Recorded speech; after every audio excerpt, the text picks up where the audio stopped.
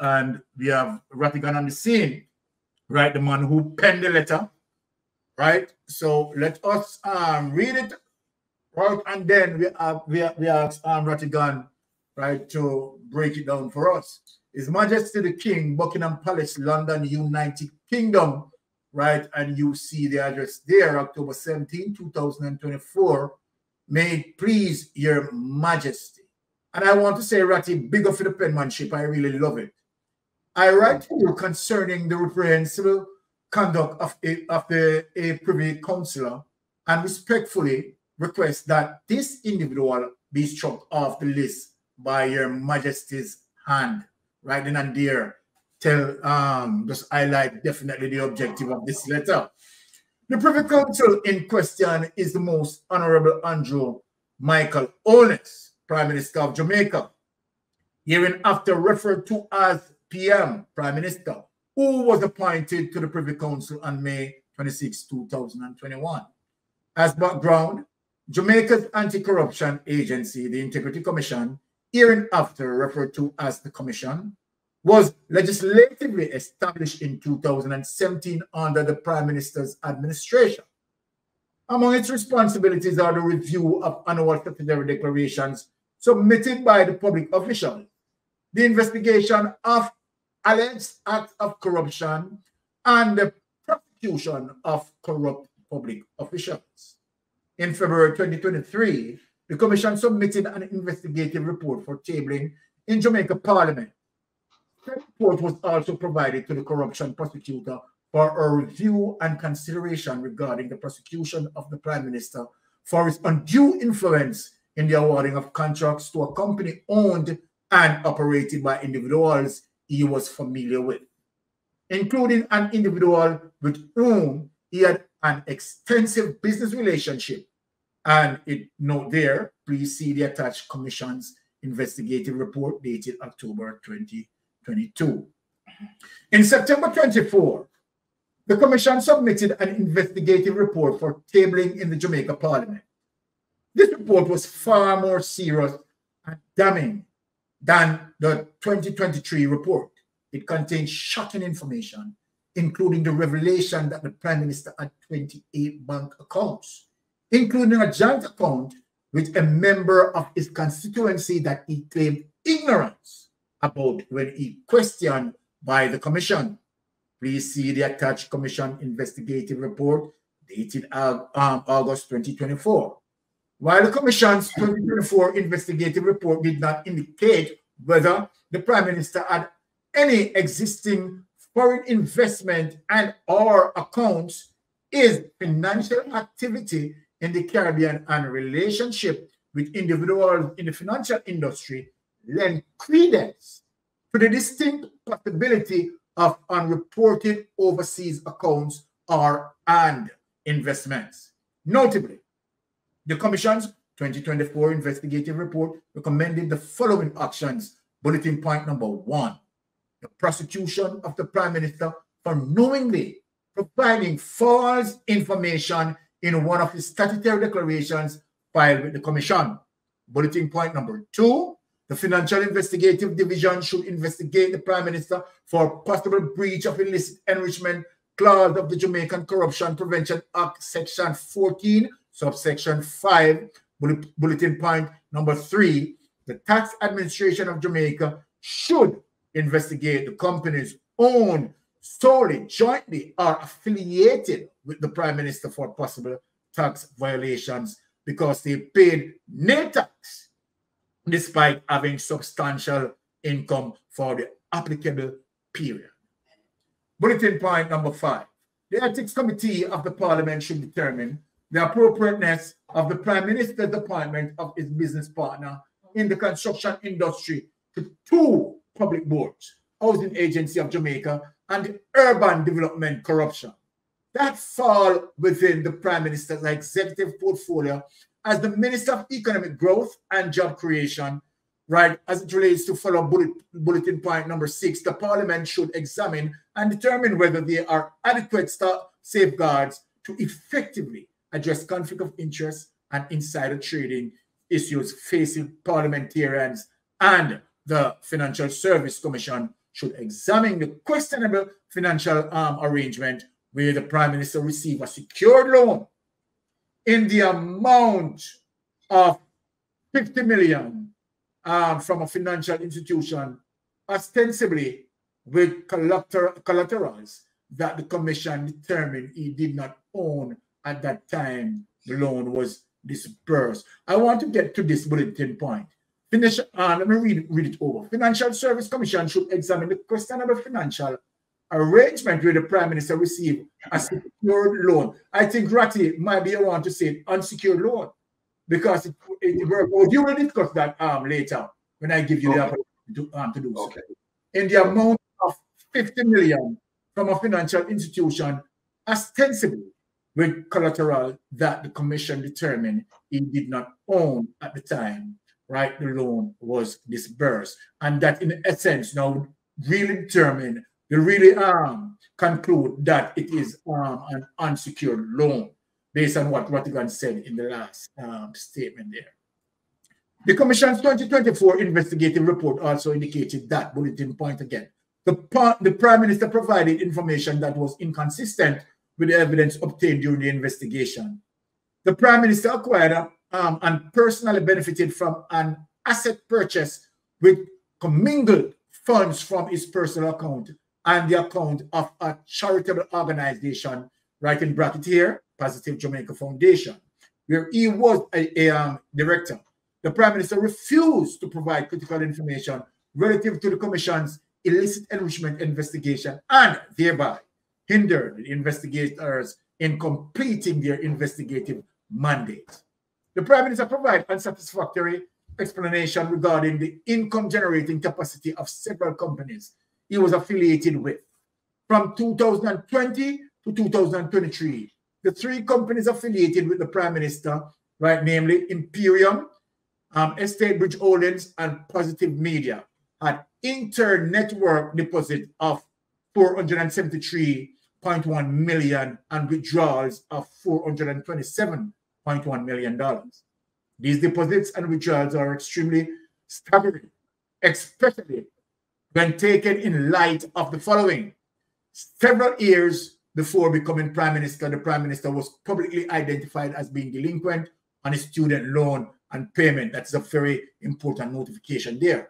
There is no reporting that the prime minister received a um, bequest or a gift that could um, satisfactorily. So what um, that would mean bequest like a will or anything. Will.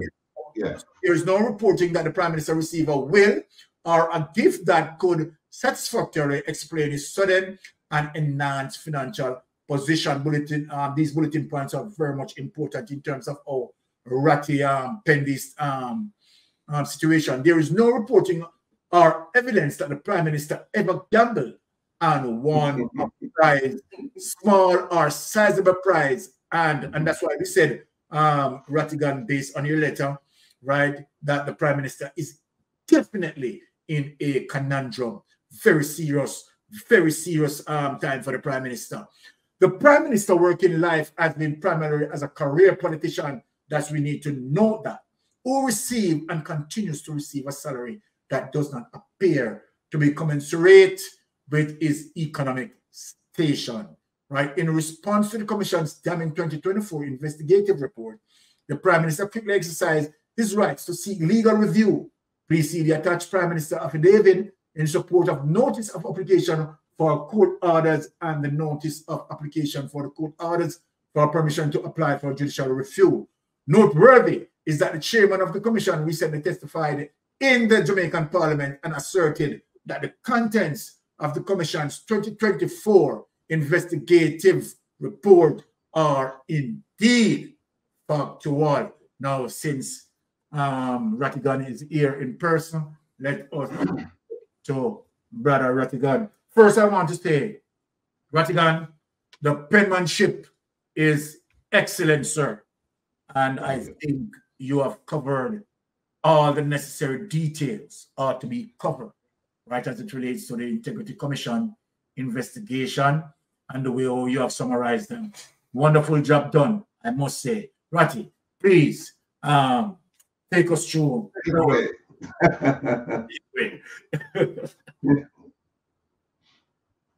Yes, you're Actually, on... you should read the last paragraph, the very last paragraph. Oh, I missed out something. Uh, okay, yeah, sorry about the last paragraph. Yeah. Okay. Keep going. Keep going. Keep going. Not, the, right. This is the very last one. Okay. So let me read the very last paragraph. In light of the aforementioned, the Prime Minister continued presence on the Privy Council is untenable and a serious embarrassment to Your Majesty, the island paradise of Jamaica, and has caused a deep stain on the Privy Council. Wow. By his actions, inactions, and imputed motive, the Prime Minister has proven himself unworthy of continuing as a Privy Councillor and must now suffer the ignominy, nominee of removal forthwith by your majesty's own hand. Well done. Take that away. Let us turn to. Brother Rattigan. All right. Yes, Brother Rattigan, you're on the floor. the, re- the reason why this is secure loan is because, and I should put secure in in, in parentheses. I mean, sorry, in quotation.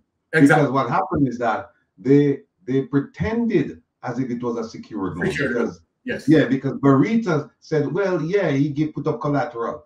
And then he said he put up collateral. And when they checked, they said that there was no collateral. So yes. what happened is that they intended to have a secured loan, right? Yes. By by their statements, but by their deeds, it was an unsecured loan. Unsecured. Because what happened is that if he decided that he wasn't going to pay that loan before putting up every the day after, he got that money. If he decided, I'm not paying this loan back, there's nothing really they could do to him. They'd have to sue him.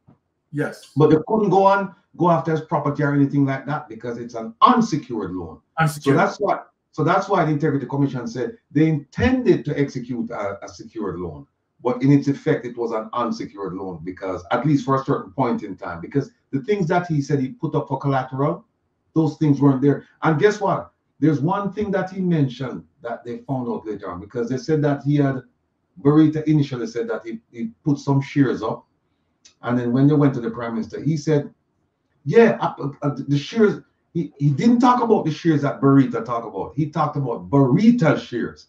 And he said, I I I have some shares from Barita and I, you know, these are I use them as collateral. So they went to Barita and they said, How about these shares? Barita said, well, you buy them from us and buy them on the open market, so you have to go talk to the stock exchange. Mm-hmm. They went to the stock exchange and said, How much you pay for them shares and how many shares? Stock exchange said, We don't know how much you pay for them. We just know the number of shares. That's it.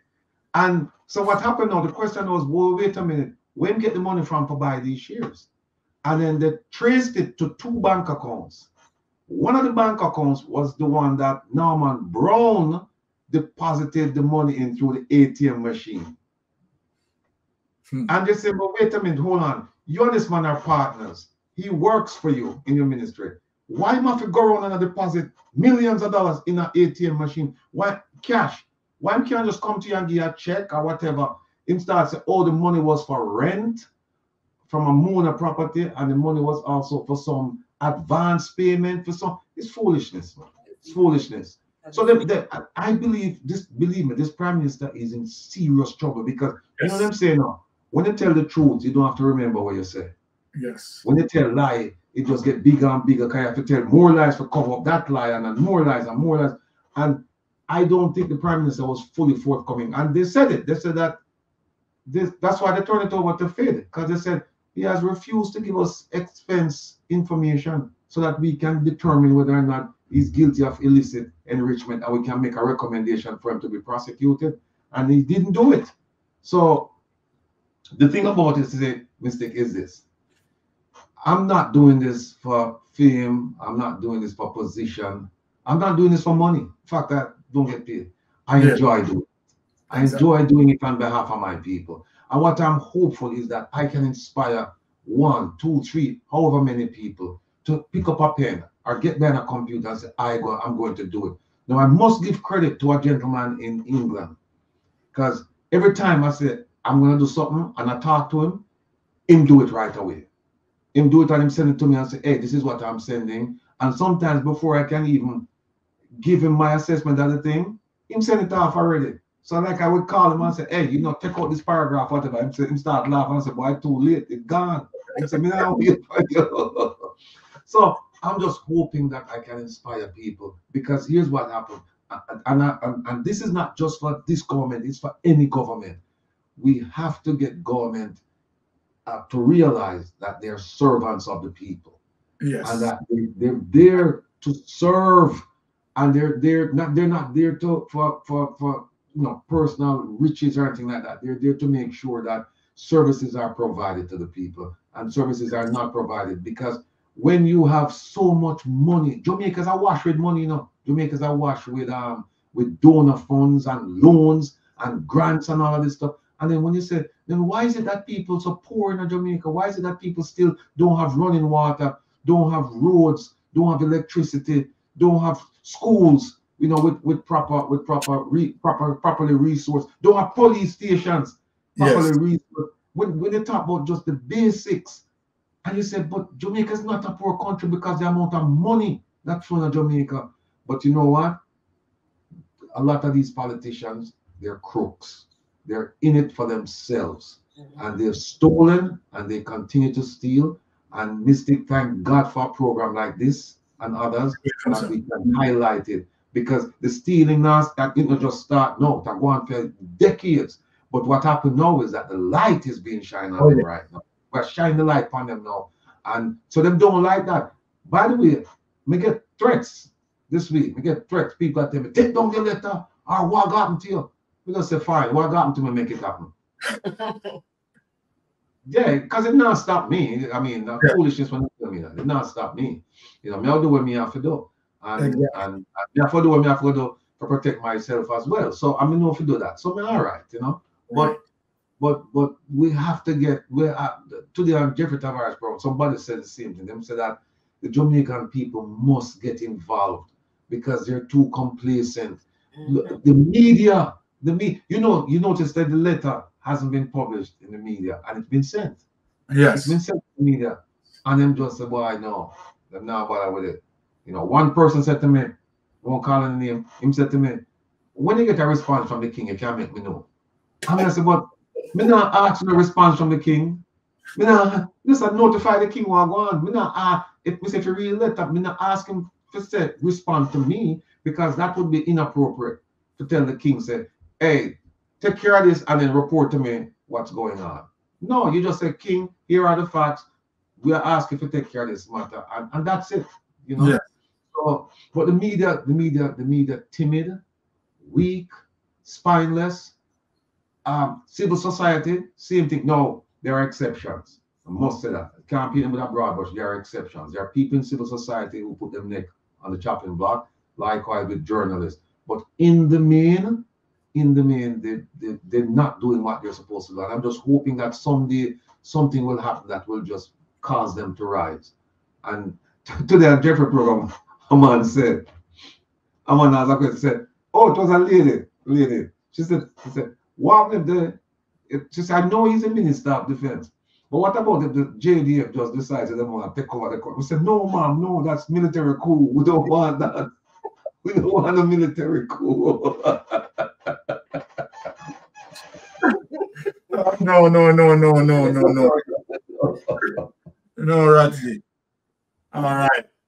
Um, so Ratty, um, thank you for that. Um, Maria, before we move, because we are now going to get into the investigation, and I know that you know a lot of people are anticipating the investigation um, to start. But before we go into that, yeah, but, um, yeah, one second there something I want to say. I'm listening to Rattigan and you know, and you, as I read the letter, and I'm thinking, you know, they like to say that the Jamaican parliamentary system is modeled after the West is the Westminster model, but it's not fully applicable because it was really following the Westminster um, model, Andrew would not still be there as prime minister, and the seven persons who are on the investigation for illicit enrichment, they would have been named by now and kicked out. So it is only Westminster model in name only, but not in applicability, you know? And the, the, to the person who said, you know, the person in the media who said, um, oh, when you get a response, let me know, is missing the point because a letter like that sent to the king, it goes, it passes through many, many hands. True. And so you know, not only will the king hear about it, members of the House of Commons are going to hear about it. So when Andrew goes into those spaces, yes. he gets the side eye. So, you know, they are missing the point, you know. You can't throw the baby out of the bath water. Exactly. You know, something says, you make an mm. excellent point, and I, I, I, I, was remiss in, in not mentioning it. The letter was not only sent to the king. I, I need to make that clear. The letter was sent to 20 of the most influential members of the Privy Council, including the Archbishop of Canterbury wow. and the Prime Minister of the UK. Yeah, it was sent to them. So it mm. wasn't just sent to the king only. It was sent to 20 of the most influential members of the Privy Council. And this week we're going to send it to 20 more members. And we're going to keep sending it till we get to all of them. And then we're going to send it to the Jamaican Parliament as if they don't have it already. And we're going to send it to my good friend, the speak, the, the, the, the president of the Senate, uh, Mr. Tavares. So we're going, to send it, we're going to send it all over the place because this thing needs to, and we're going to send it to um, we're going to send it to foreign media as well because we need we need the prime minister to be treated as the pariah that he is. Yes. If people would just take off the blinders, just take off the blinders and put their partisanship aside and just look at it honestly and objectively, and just say to themselves, "What my prime minister do with 28 bank accounts? Why? What what is he doing with 28 bank accounts? What is he doing running businesses and at the same time being prime minister? Why, why is the money running here, money running there? Oh, find time to do all of them transactions? Remember the remember you know, the the the uh, forensic guy you know said it's thousands of transactions done you know in a short period of time. Where our prime minister find time to do that? And then remember now what he said, you know, him said, you know why the country now run good is because you don't pay well. None of that, Mr. Prime Minister, because you're busy to do this. Mm-hmm. Busy this, that's why the country now run so. And and and and so we just have to there has to be an outcry. We have to do something. And like I said, thank God for you and Anne Marie and Maria, you know, because you have shed light on the things that should be that that should, should be exposed, you know. I mean, a little entertainment is good. Some programs have entertainment, they have this, and that. But this is a serious program where you just yeah. focus on the on the issues. And let me tell you, me not say, me say one of the reasons why I love that program, yeah, him and wife do them homework. Thank then you. come and just you know read the headlines and come and talk about the headlines. Mm-hmm. Then go beyond the headlines, you know, and yes. that's why yeah, I will never be tired, my brother. You have to tell me, say, no, come back on your program. I, I mean, I will tell you that. You're never there every Tuesday night. Never there. What, what I'm like is trying to they with with Rattigan, what I'm like trying to we're there for years. we're there for years. But you know something, Rattigan? You said he goes beyond the headlines.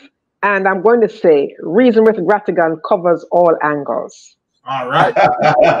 so what I'm saying, yeah, and and, and yeah, and, and here's the thing, because you know, this is the letter getting to out to all these people. It's gonna get into the hands of the people that we more we are most interested in having look at it. Those yeah. who donor funds. Because yes. when you have countries making donations to the Jamaican government, yes for various programs that benefit inner city youth, young people. And you see crime is still out of control. There are no programs that benefiting that benefit the young people. Um, Fantastic Five just text me a text message, shade.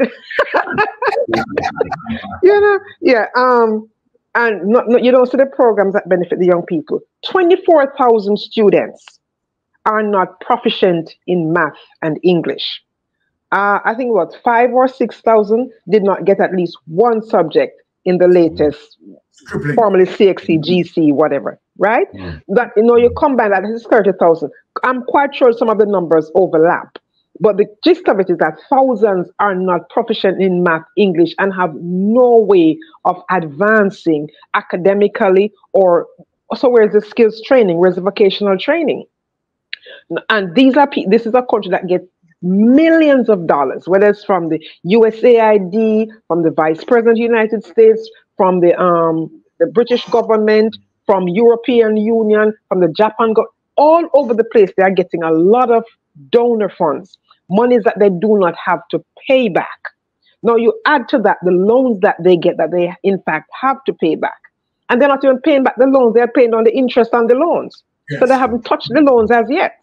You understand? So when they get these monies and you don't see anything tangible on the ground benefiting these young people, and all you can hear is the prime minister has 28 bank accounts and who has buildings going up here and who own plaza and who own gas station and all these things. You yeah. you have to ask the question, and you, these persons should now start looking into getting accountability from these people. Show us before we give you any more donations. Show us how you spent the monies that we gave you the last time. And when that starts happening, I think we'll see a sea change in the corruption. And when people say, oh, this no mean not so the thing set and the next one go come in. No, we have to start where we are to get to where we want to go. And if it's one person held accountable, if just one person is held accountable, that is what we are looking for. Just start with one. We're not looking for the entire parliament at one time. No, one person. And when we get that one person to be held accountable, then they understand that this is a, this is a seriousness. Like Rattigan like to say, this is not a mother diaspora.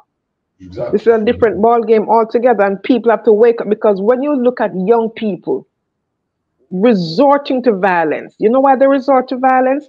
Not only do they come from poor communities, they have no outlet. They're not making it academically, and there's no skills training, vocational training to meet the needs of the workforce, the current workforce. You never, you you'll always need the carpenter and the plumber and the painter and the electrician. You always need those people. Where are the, the facilities to to absorb those young people? Where are the community centers to train young people in coding? That is where things are going to learn how to do AI to learn to how, how uh, they have a, um, a music industry where the young people being trained to work in the music the entertainment industry you know filming all of that. So this is why we have to put the pressure on the government and these this letter is relevant. You don't have to get a response from the king for it to be effective. Mm-hmm. you understand who came to the fore 2018 but where was Nigel Clarke before coming to the fore in 2018? Nigel Clarke was a director in one of Andrew Holness' company prior to venture into the politics. And so then what we are seeing that Nigel Clarke is doing now is preserving the status quo of the corruption because remember, before Nigel Clarke ventured into the politics, Nigel Clarke was indeed a director in, a, in one of Andrew Holness' shell companies. So let us point out that categorically clear. We want to show, right, the, you know, um, the, the corruption, the, the, the, the, the, the, the, the, the, the twining of the corruption trace the DNA, the DNA of SSL for me? Can you? Well, one of the biggest contributor to the financial um, meltdown was the Eagle Group. Yeah, SSL was formerly what we call Paul Paul and Company. That was the stockbroking arm of the Eagle Group. You with me? Yeah, talk, the talk man who used to run SSL, Mr. Cross Perry, he was the man who was running Paul Chen-Young and Company, um, the stockbroking arm of the EB Group. So that's where it came from. They went down with 14 billion and change for the taxpayers. That that is in so the, the, that is in the in the, the in the in the FinSAC the era. 40 billion FinSAC money that we're talking about. They to them amount was 14 million dollars. 14 million. Billion. Billion. And and yeah. if we equate that today to today's money, that would be like 50 billion now. Hallelujah. Yep. Real money we're talking about because Real back in the day, the dollar yeah, was yep. better valued. Yeah, man. So so yeah, the man. DNA of SSL I come from down there, sir. Yeah, man, from the Eagle Group. The bloodline. Yeah, man. No, I said to you earlier, there are people presently in the parliament that was bailed out by FinSAC. Isn't that so? I'll tell you, yeah, man. That's why you can't get the report. I wonder if any of them persons that are on the PNP side who got bailed not, out from No, not right now. But said nobody on the PNP side never get bailed out from FinSAC. No, not right now. Yeah. Oh, not so, in the current PNP setup. So which side then upon? I don't know. But people in the parliament. I have to tell, I have to why the report can't be published and why I get transcript instead of the report. Are, are you confident, Ralston, that all the material unearthed by the inquiry has been uploaded to this archive? No, man, then you're nice class saying we got some of the information, man, and take out some of the information because we would have followed the team. At that time, I was the financial editor of the Sunday Herald. And we know of people who borrow money from Central National Bank and tell them forgot to pay. Who that? 30 the, million US dollars. Them the, kind of 30 the million US dollars are enough more money. The, the American born? Yeah, Of course. Oh, an American yeah. born. Bar 30, 30 billion. I will know who was I will know who was the accountant in the place when he said that. Well, and 30 million, right? 30 million US dollars. They might be enchanted God with an European, like Carinosa. Uh, no, man, in a, in a Ochi. Yeah, center and Ochi. And, and, and, and I said, I said to you, Ralston, and that was the project that Port and All right, people, as I said, that we are going to be carefully and forensically present our evidence tonight. So we have heard what Ralston Hyman stated, right? But let us ask a question. Where is the evidence in terms of supporting what Ralston Hyman said? Now, what Mystic Sensation have done is to go to the source as it relates to court document to prove and support what Ralston Hyman just said and what I have been presenting long time. So then now we are going to prove now as it relates to court document to support what Ralston Hyman said as it relates to the DNA of SSL, right? Linking SSL, right, to the 1995 financial meltdown and as it relates to what? 14 billion dollars. Remember the damage that it caused, that we had lost 40% of our GDP. But let me present the evidence to you all. Share. Mm-hmm. Now, Rattigan, we are going to get to the first evidence and then we are going to go to the panel before we move on because we are not going to leave no stone unturned. We're not going to be like Nigel Clarke who decided that he's not going to leave any stone unturned and he didn't he didn't lift up not even one of them. Now let us read people. Miami court states freeze on Chen-Young assets published Tuesday, May 22nd, 2007. The Miami court in Florida has set aside its ruling for the freezing of the assets of former Eagle Group boss Dr. Paul Cheng Young and stockbroker Hugh Croskery.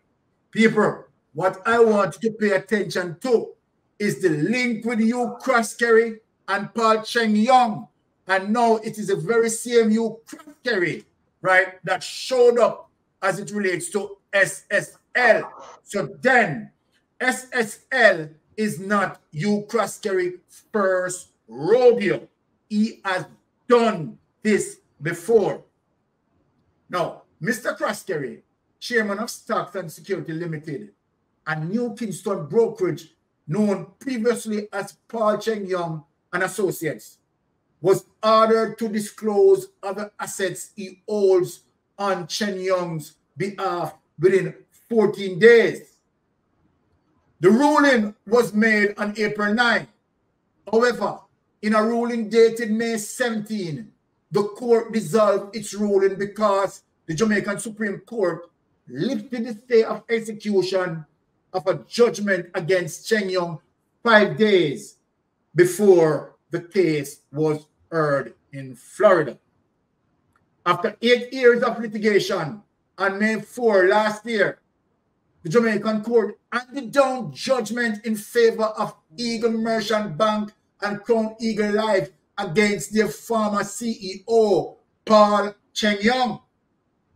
Both groups were failed entities that were rescued by regulation in the 1990s. Hence, if you want to call that FINSAC. Chen-Young was earlier ordered to declare all his assets and not to dispose of or deal with any of them without the court's approval. Right? So, okay. Now we have seen SSL branded problem institution by FSC. And one of the reasons why we are getting into that document is to show that from 2010, I want people to understand before, let me explain this. Now, 2010, right? Who was the prime minister in 2010? The prime minister was Bruce Golding, 2010. SSL, right, came back, right, in the public space 2008. Also 2008, right, the, um, the prime minister was Bruce Golding. SSL came in 2008, people. I want you to listen to me. And within two years, they were flagged. I'm going to just give you some background before I get into the next document. Right? Hugh Croskery brought back SSL from the grave right, as it relates to Paul Chen-Young and associates, right, that helped to cause a major part of the 1995 financial meltdown in 1995, right, but waited so many years to reintroduce it in 2008.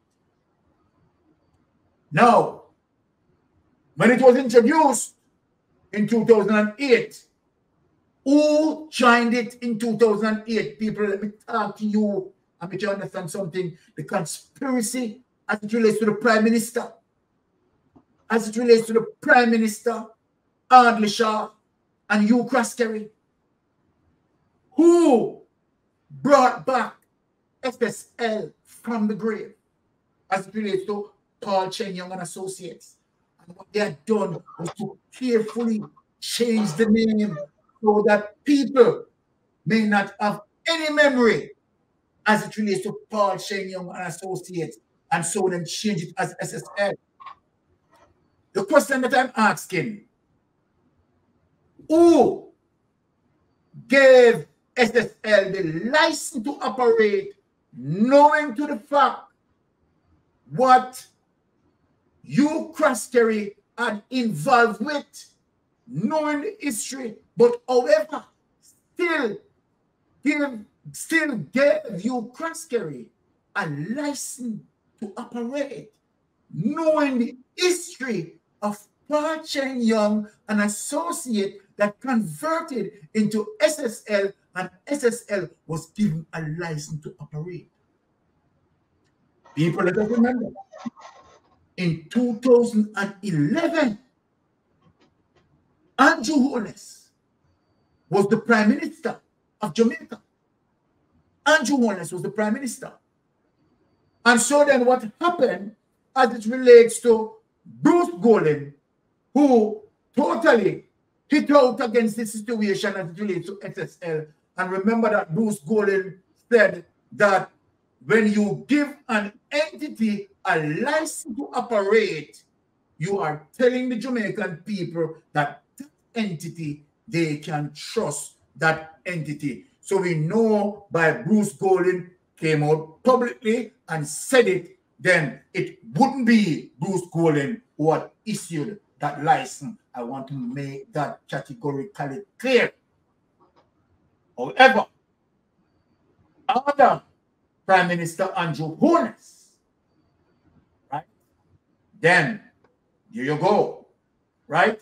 Now, let us move further as it relates to now the history that Andrew Holness would have now aware of what SSL is. And however, the Prime Minister of all, the Prime Minister would have decided to join into SSL, knowing that SSL was a Ponzi scheme. Let me stop it at, as a Ponzi scheme because of the next document that we are going now to show you that the FSC, you understand, based on their audit, would have shown clearly that SSL is a Ponzi scheme. The question is, why the Prime Minister? Why the Prime Minister join SSL? That is the big question. Now here it is, people. Let me read it out. SSL branded problem institution by FSC five years ago. Flagged, here the important notification here, flagged for culture of non-compliance and mismanagement. So what that means, let us take it into context.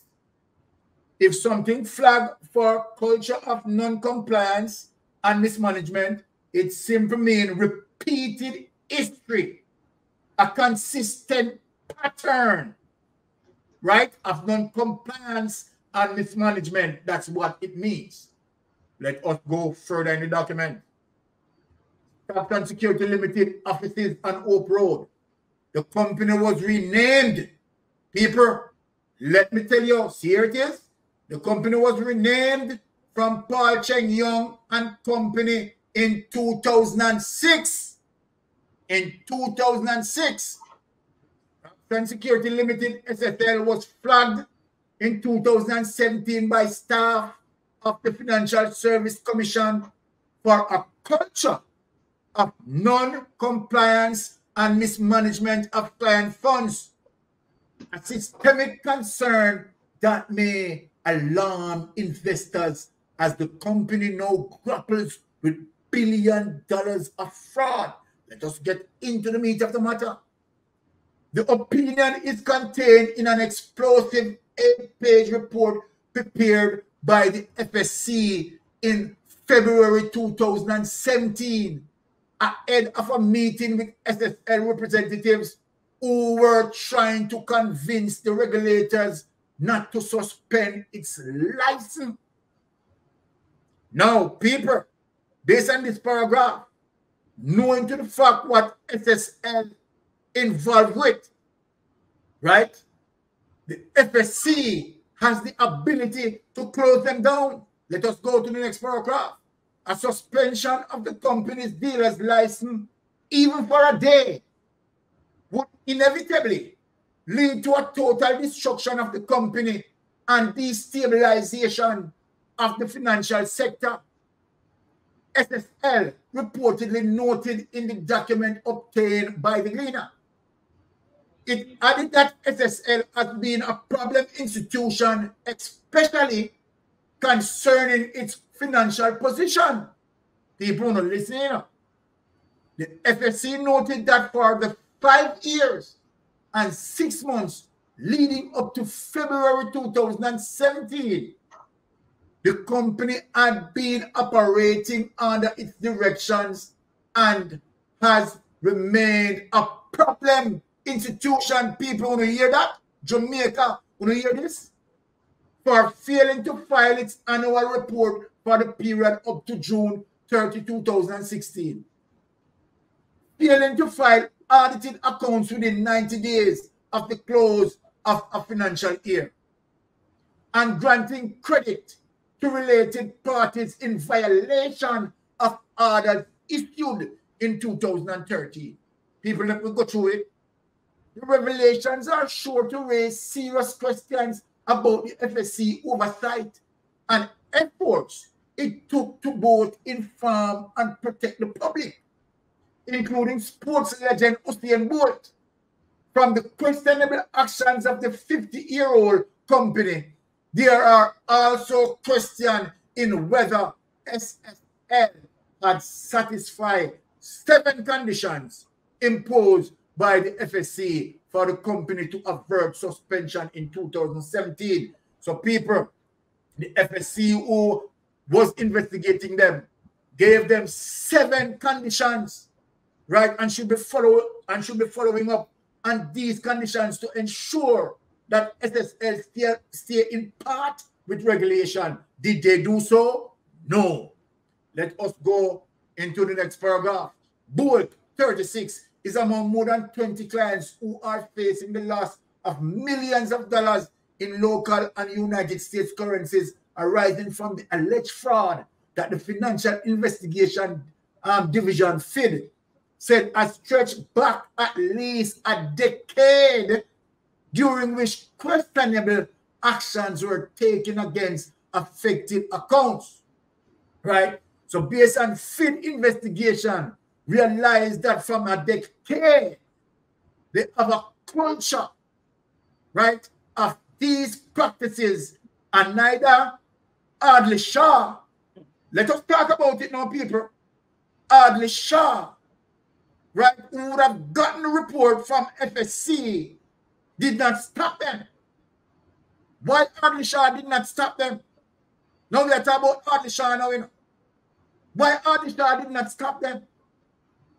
Now the Prime Minister would have his account in SSL, knowing to the fact of all these inconsistencies.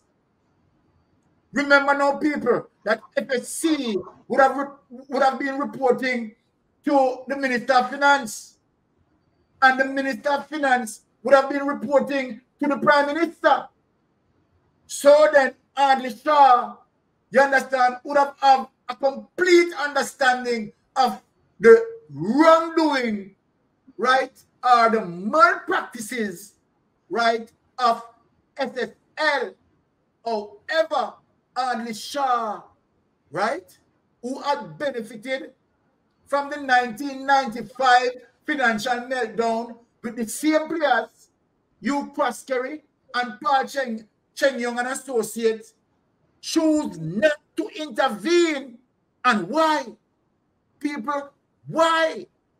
Because Audley Shaw was the Minister of Finance and would have understood all the malpractices of SSL and still did not stop them. And bigger yet, Andrew Holness as a Prime Minister have an account in SSL knowing that SSL is a pyramid scheme. Let us read on. Bolt, who retired in 2017, has been doing business with SSL for 10 years as one of the clients with the biggest portfolios, both may not have known that in November 2016, people hear this about now, the FSC had served a notice of intention on SSL that its license would be suspended for a litany of failures. People want to see with me, you know. Panel, want to follow me. Right? In in November 2016, the FSC had served a notice of intention on SSL that its license would be suspended for a litany of felonies, failures. No, again, Audley Shaw would have been informed about this. And again, the Prime Minister would have been informed about this. Let us move on. The FSC regulates non-deposit taking um, institutions such as insurance companies, pension funds, and brokerage firms. Along with its brokerage mandate, SSL says it provides investment advisory services on private wealth management and financial planning services with an emphasis on US dollars exposure. According to the FSC document, the regulators could not confirm whether many of those activities were being carried out properly and in accordance with the law. Part of the FSC opinion was built on an on-site examination of SSL between June 6 now and September 14, 2016, which revealed now what? What it revealed, people? Several violations. Let me read it over people. Part of the FSC's opinion was built on an on-site examination of SSL between what? June 6 and September 14, 2016. Which do one? Reveal what? Several violations? No.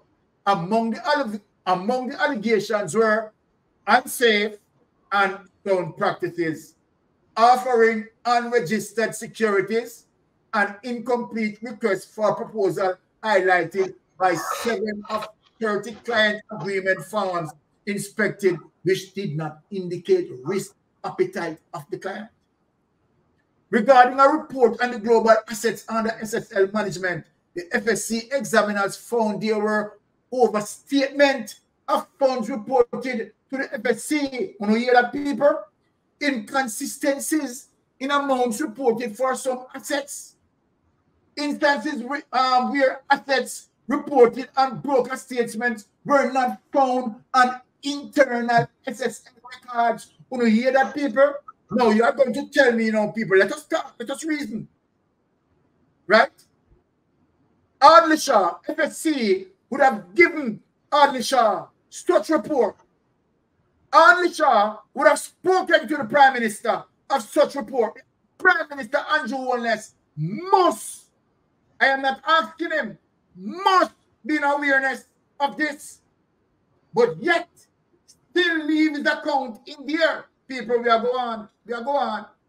FSC staff were also unable to confirm the value of funds in client bank's account as at April 30, 2016 due to inconsistencies between SSL internal records and reconciliation document provided by the bank. So people, what you have, SSL record, they show one thing, and the bank reconciliation and document are showing another. This information would also, right, be um the the the, the, the finance minister Audley Shaw would privy of this, and the prime minister would have privy of this. Bangarang as related to the conspiracy of corruption. On a look, people, not all with the clients opening SSL accounts indicated source of funds. Regulators also said they observed that SSL was engaged in a loan business contrary to law. We stop right of people. Let us read. Let us read this again. Not all farms with clients opening SSL accounts indicated source of funds. Regulators also said they observed that SSL was engaged in a loan business contrary to law. Let me ask, let me ask. So we have seen in 1995 is the same thing that FinSac utilized unsecured loans that caused the 1995 um, financial disaster. No, we are because SSL not supposed to be giving loans. You understand? Because of what happened in 1995. This is the reason why people, let me make you know, let me, let, let me uh, make you know aware. As a result of the 1995 financial meltdown, this was the reason why FSC was created. You understand? To manage non-banking um, sector like SSL. And one of the rules, the primary rules, is that they, they are not supposed to give out loans. They are not supposed to give out loans. What's this on people? Right? Andrew Holness would have aware of that. Right? Audley Shaw would have aware that we have that if you know talking about Nigel Clarke yet. Not talking about Nigel Clarke yet. Not talking about Shaw. Audley Shaw would have aware of this and know very well that SSL engage, right, in giving out loans, right, is contrary to the FSC rules and should have closed them down. Should have closed them down as it relates to the consistent behavior of impropriety. However, no, neither Anisha make any effort to close them down, neither Andrew Holness make any effort, you understand, to take out his account.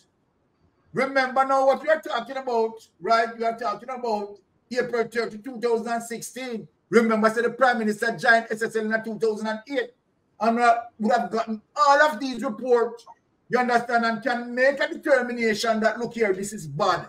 Me, as a Prime Minister, I am not going to involve with this. This is clear corruption. You understand? I, as a Prime Minister, have to have integrity. You understand? Should not be participating in something like this. The Prime Minister did not make that decision. The Prime Minister knowingly, and I'm going to say knowingly because the evidence is here, knowingly know that SSL, you understand, was breaking the rules and regulation and the Prime Minister in collaboration with SSL to break the rules and regulation along with uh, along with um Audley Shaw. Let us start. There was no segregation of global bonds. And before that, again, let me start, let me say this let me read back this over again to show you what the Prime Minister done recently as it relates to the Integrity Commission report. Not all farms with clients opening SSL accounts indicated source of funds. Regulator also said the observer they observed that SSL was engaged in a loan business. People, me, me and Rattigan just read out a while ago with Beryl. You understand? We had Beryl had given the Prime Minister $50 million Berita, not Beryl, sorry, sorry, people. Berita, 50 million unsecured loan. The Prime Minister should have known that those, that sort of entity that licensed under the non-banking sector, right, is not allowed to give unsecured loans or loans.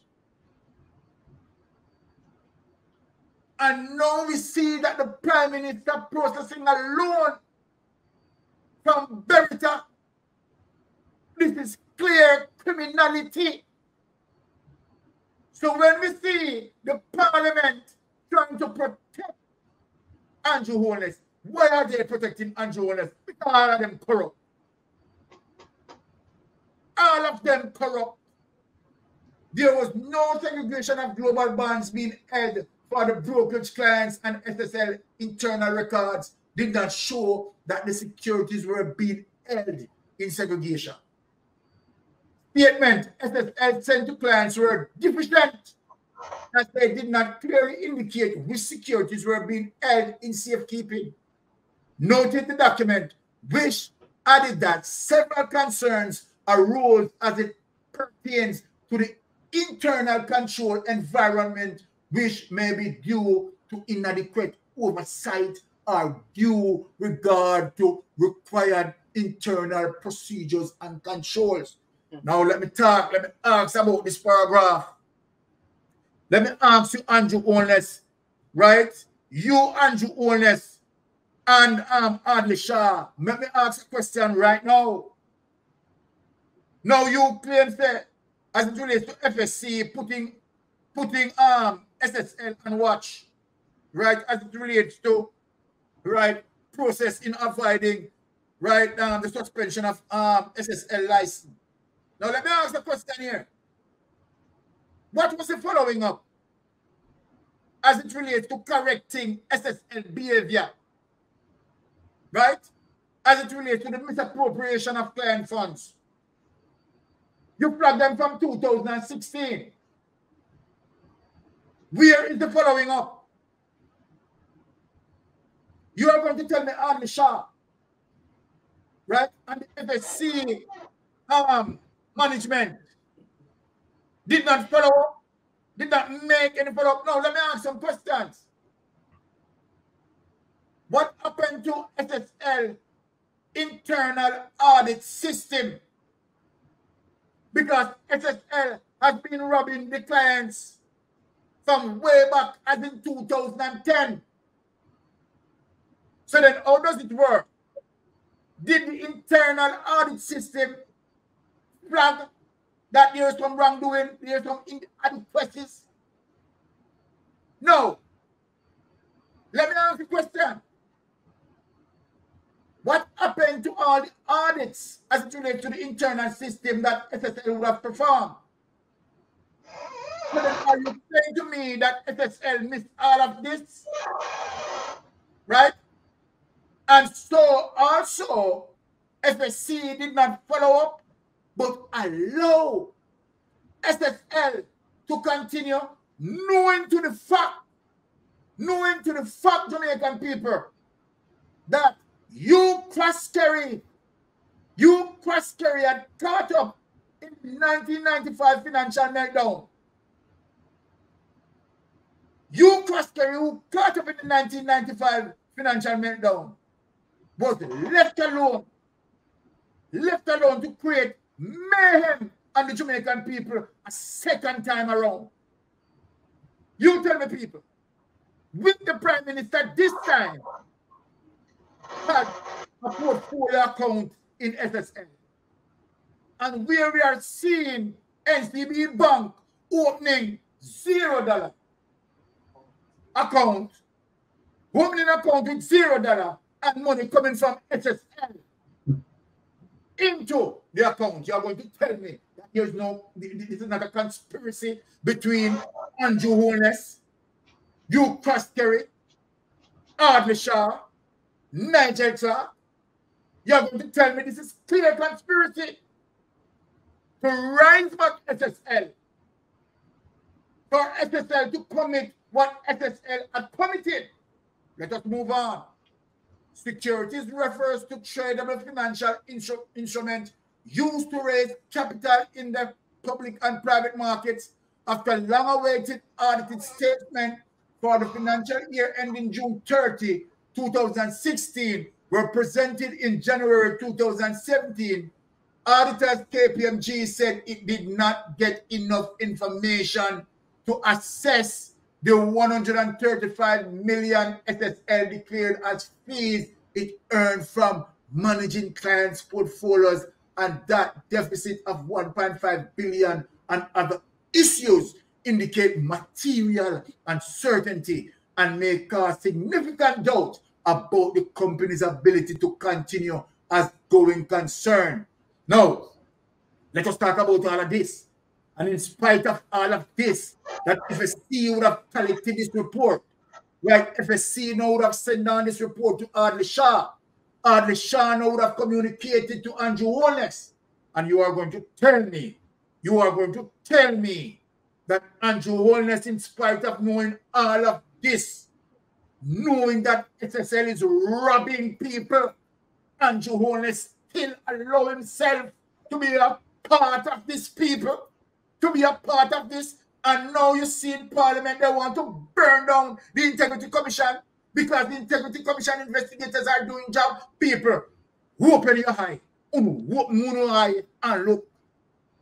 Now let us read on. Following the February 17, 2017 meeting between the SSL representative and the FSC, the regulator wrote to SSL 11 days, later outlining the seven conditions to be satisfied to avoid a suspicion. Know, hear this, people?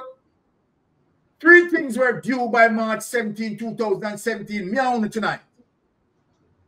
Evidence on completeness, existence, and accuracy of the net margins from foreign currency trades by Dollar Financial Service amounting to $12.5 million as indicated in SSL's audited financial statement evidence of the management fees earned by the SSL for the year ended June 30, 2016.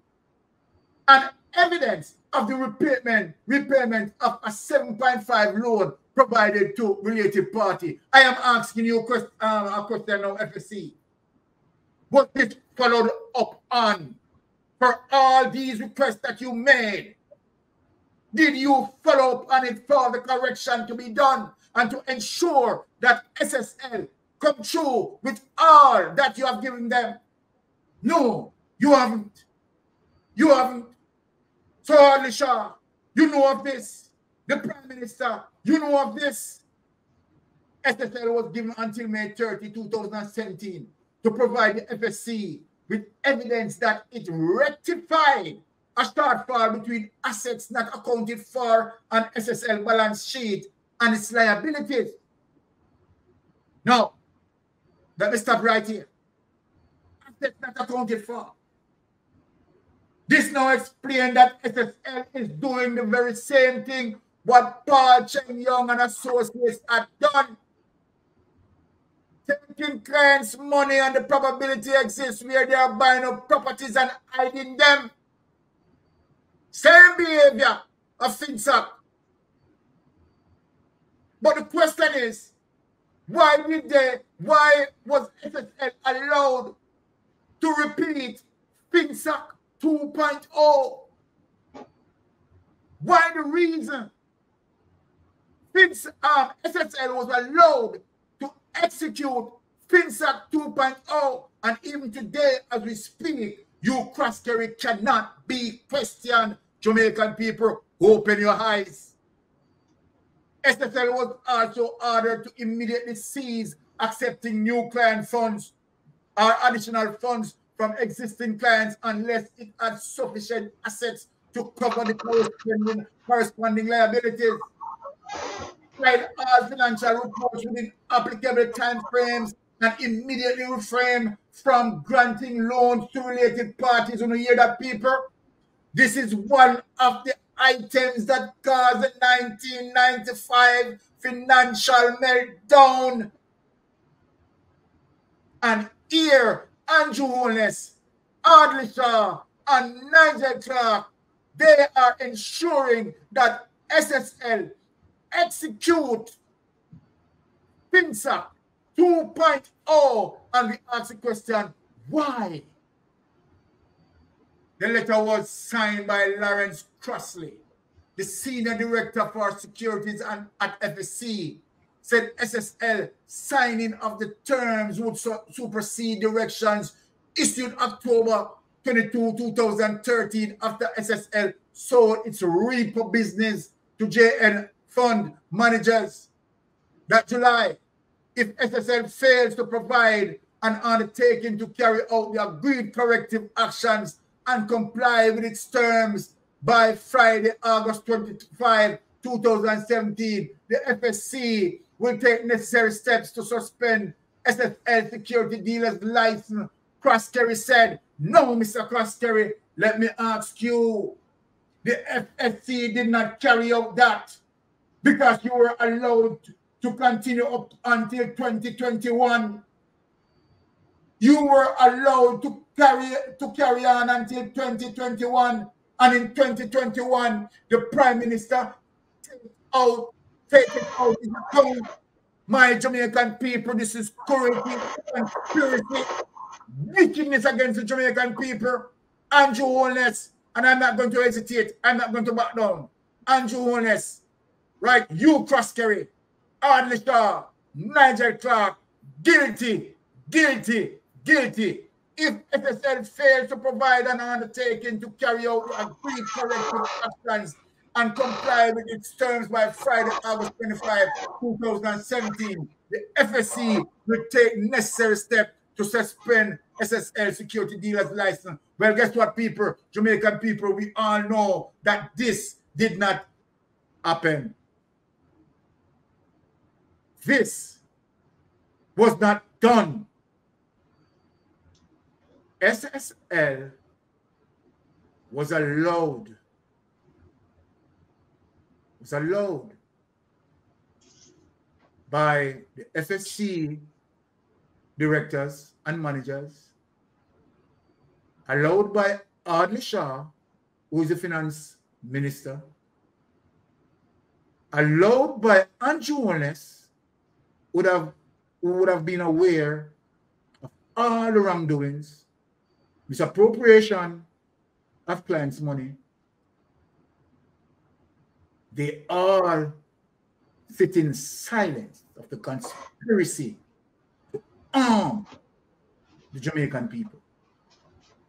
What happened next is not clear, as the FSC typically does not publish its directions issued to companies.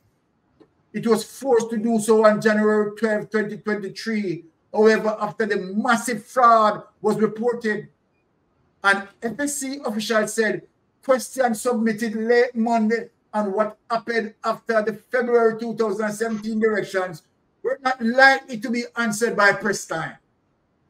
SSL Chairman Jeffrey Cobham has directed queries to the FSC, citing the regulator's enhanced oversights now in effect.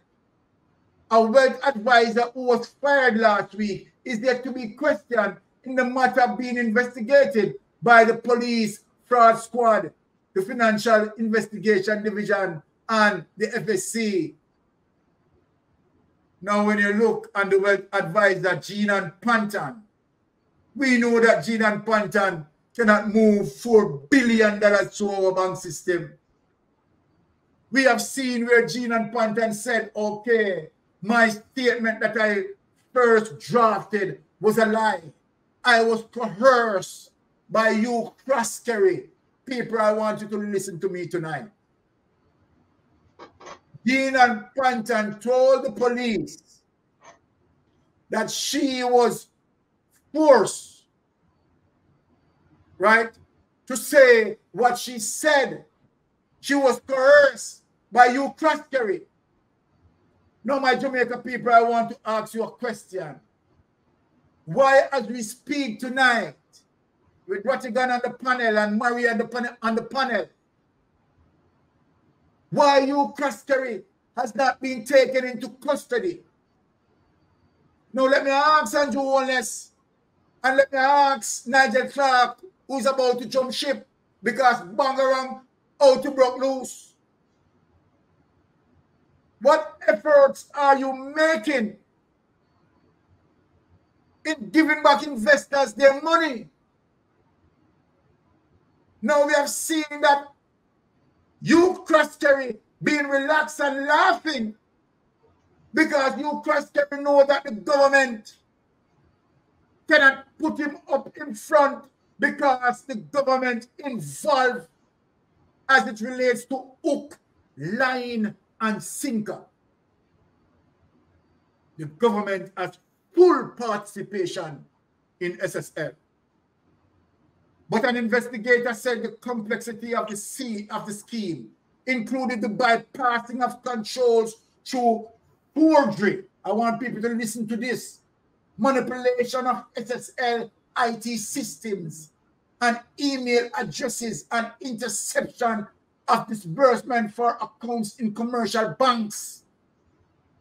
The FSC announced on Monday that it has appointed a special auditor for Stocks and Security Limited. SSL was renamed from Paul Chen-Young and Company in 2006 to execute the mayhem as it is today. Let us take that away and go to our panel.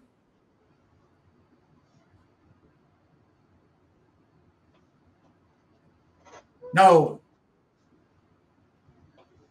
panel, let me start with Rattigan Again, the legal mind and who, right, would have sum up all of what we have read. Now, Rattigan, you just heard what you have heard. Right? And let me just create the background for you. As it relates to the Prime Minister awareness, from way back into 2010.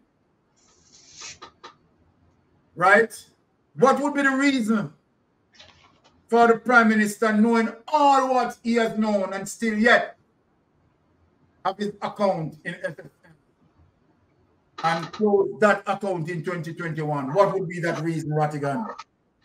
See if we can um, pep us.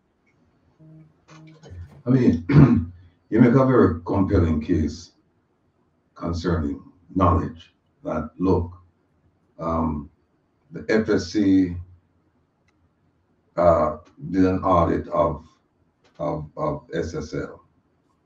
And it would have reported its findings to the Minister of Finance on. And the Minister of Finance would report what's going on to the Prime Minister. Plus, the Prime Minister had an account at this place. And I am sure that that that people were aware of it. It wasn't, I, I, I think I, I, I would think he had it in his own name. I don't think he had it in, a, in, a, in somebody else's name. So they would have known that the prime minister has an account here. And for the prime minister to allow it to continue, um, not only the prime minister, but like you said, the minister of finance, it's it's it's puzzling.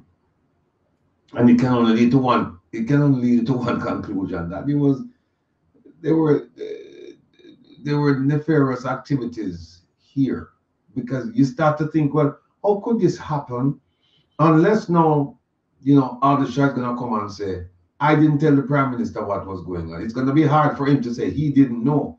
But you know what? Keep in mind that Minister Clarke said the same thing, you know. Mm -hmm. He said he didn't know. He never get the letter about SSL either. Remember him said that, and him said, and and and and the gentleman who sent the letter used to work at the Ministry of Finance for with with with with, with, with uh, Minister Clarke. and so he knows him fairly well. And what the gentleman did, he said, "I'm sending this to you by email and by courier." And then all of a sudden, the minister, Minister Clarke, said he didn't know anything about this SSL debacle. He didn't know anything about it, even though it was hand delivered and it was emailed to him and remember what he said? He said, "Oh, you know, the staff, the you know, um, he, he doesn't he didn't remember getting it." And then eventually, he said he took like a week and a half, something like that, and he went through some drawers and he found it. No. Do you believe that story? And I'm just being. you don't have to answer that because I, I know what the answer is going to be based on the presentation. Do you believe any of that story, not just the one with Minister Clarke, but do you believe anything that that that the former Minister of Finance and the Prime Minister would tell you about SSL? No, but here's what happened. Jamaica is a small country. No matter how we think, and, and, and we admit it because we say we're little. You know, we tell our but we're little. It's a small country.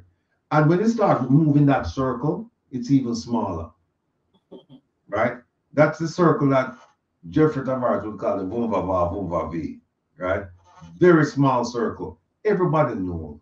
You know that circle. Everybody knows what's going on. And so for for for for uh, for um for the person in charge of all of this to make the argument that I didn't know what was going on, then the question is, well, why were you even there? Because that was part of your function to know what's going on. Because FSC reports directly to the finance minister about all yeah, about all the stuff going on in the financial industry. Right?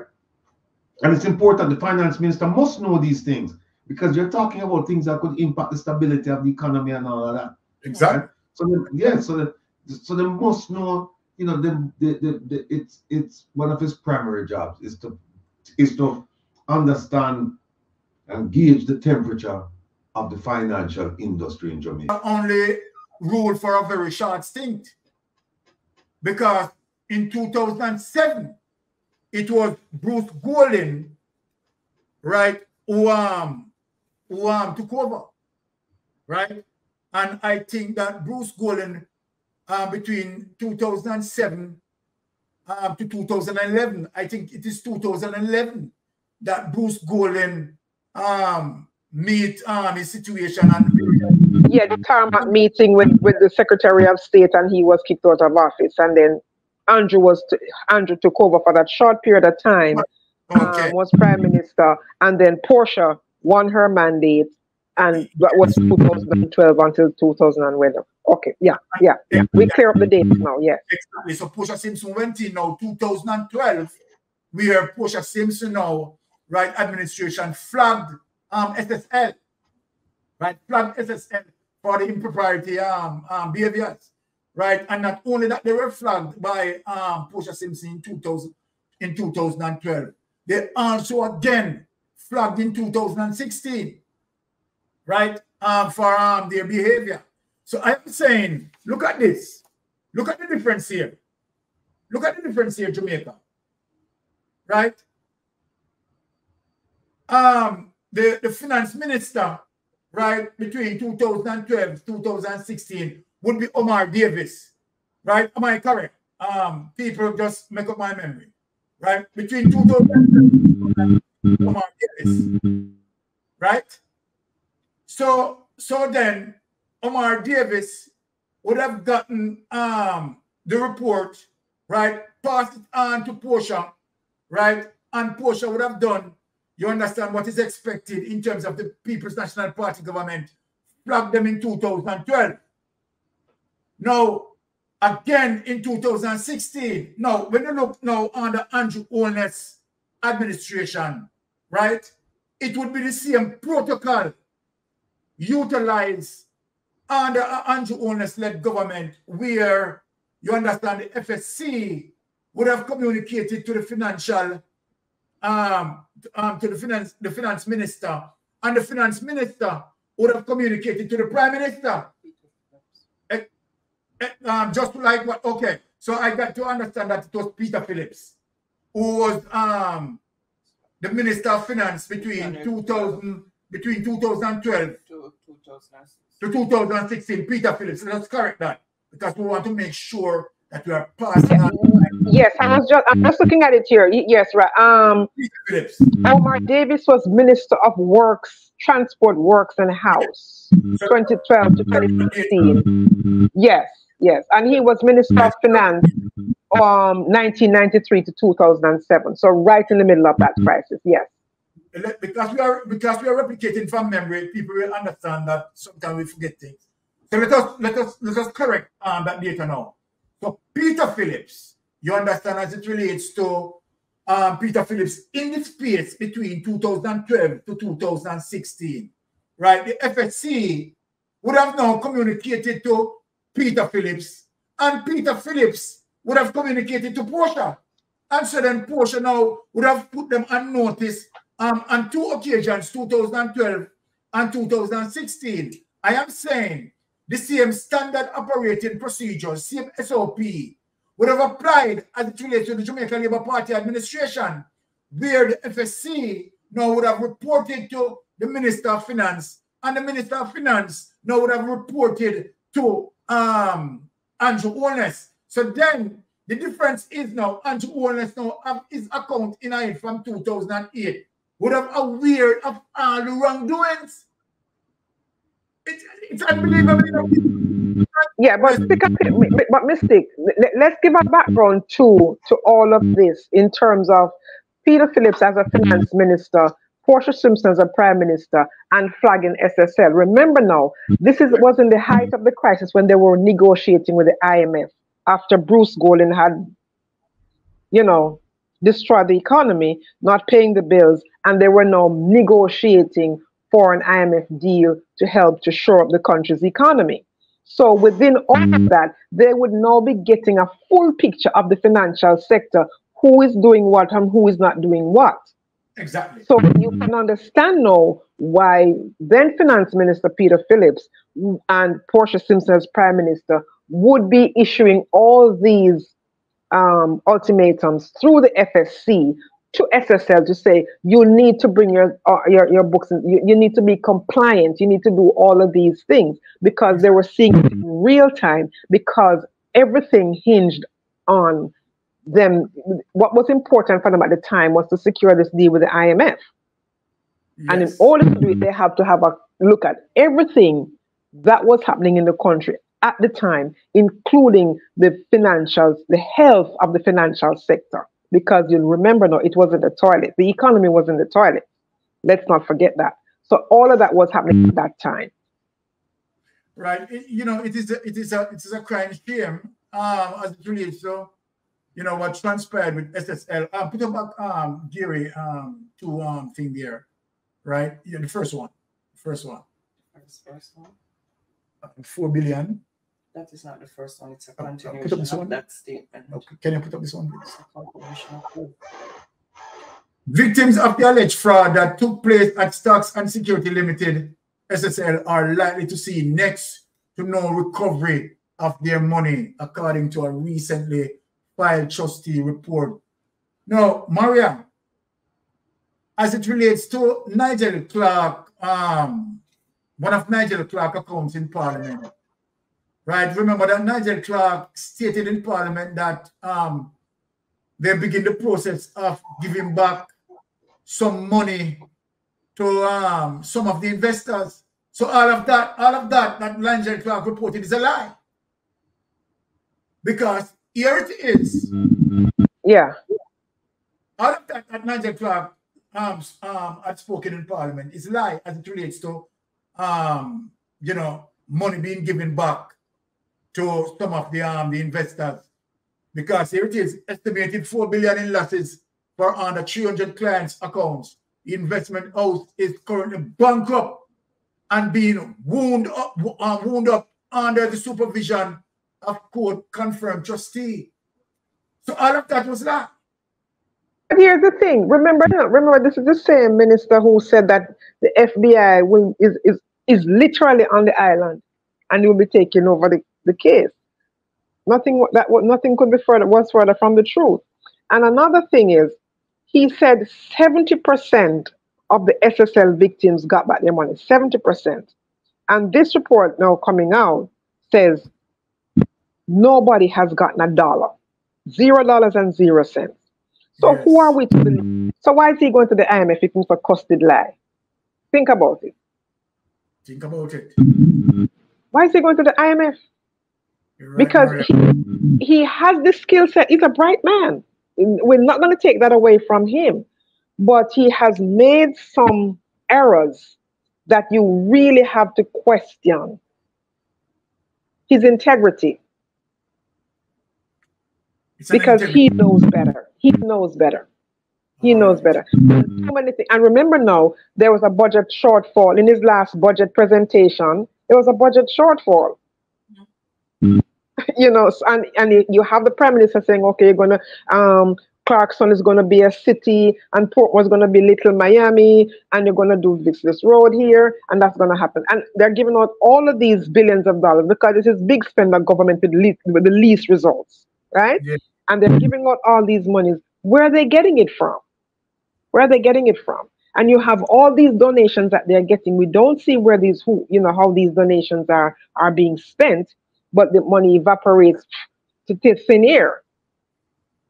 And you know, so we can understand why the SSL situation has happened because you have a mm. government where there's no accountability, there's no transparency, there's no good governance.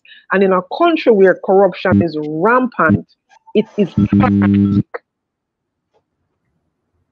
While you were speaking, I, I started doing some quick checks and 2008 was when the prime minister opened his account with SSL. Am I correct? That is correct. That is correct. All right. Because you know what else we did in 2008? He established ADMAT in St. Lucia. Exactly, in 2008. Yeah. So where the money come from? There you go. no. Yeah. The two of them, the two of them, the two of them, but like like oh the the account the, mm-hmm. the, the uh, Imperium um um Imperium Positive Jamaica Media and Estate Bridge Holdings. All three of them were formed in 2020 yes. COVID. Oh this is this is you see you, you see the pattern and practice though? Yes. You see the pattern and practice? Yes. SSL ADMAT same year yes Bridge Imperium positive media, same year. Yes. Uh, what is there is that there's a, there, there, there is there is an intent here to do certain things. Uh, but Rocky, back up. You asked a very important question. And Andrew Holness joined SSL in 2008, and Andrew Holness also created ADMAT in 2008. Now, watch this. Remember, I said that in 2016, Andrew Holness gave an interview on um, um, nationwide. The host at the time was Abka Fitz-Henley. Remember what the Prime Minister said to Abka Fitz-Henley in 2016, you know, on that interview, that he came into the politics, right, with $47 million. Want you remember this, you know? Yeah, I remember. Now, look at this. Remember, we back up before the Prime Minister opened ADMAT. Very good question I asked, Ratty. So remember back here.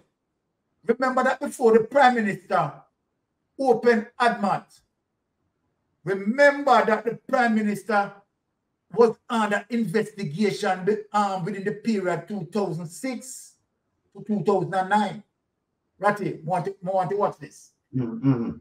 Prime Minister was under investigation between the period 2006 to 2009 for what?